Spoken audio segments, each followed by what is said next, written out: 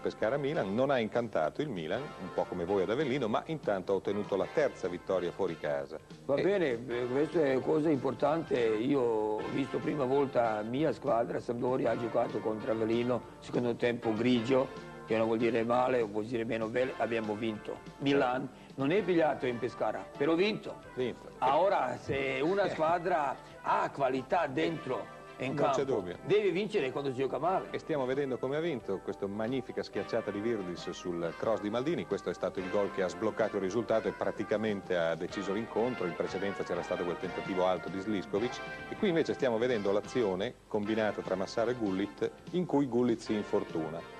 Ecco l'attimo in cui Gullit rallenta la corsa e c'è stato questo stiramento alla coscia. Io credo che con Gullit, Bosco mi corregga se sbaglio, il Milan perda indubbiamente un giocatore fondamentale.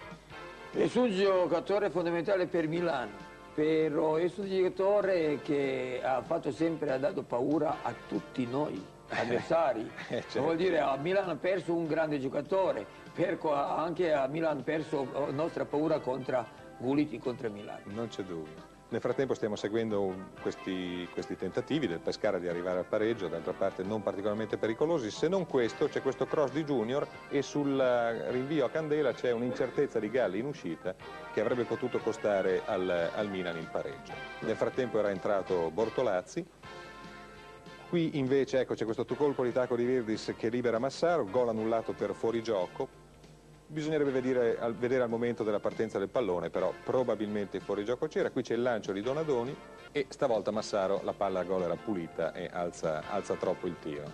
Questa era bella palla gol. Questa è bella palla gol e questo invece è il gol di Bortolazzi, molto bello su punizione, forse con qualche responsabilità di piazzamento del portiere, io credo. È Cosa molto dici? difficile.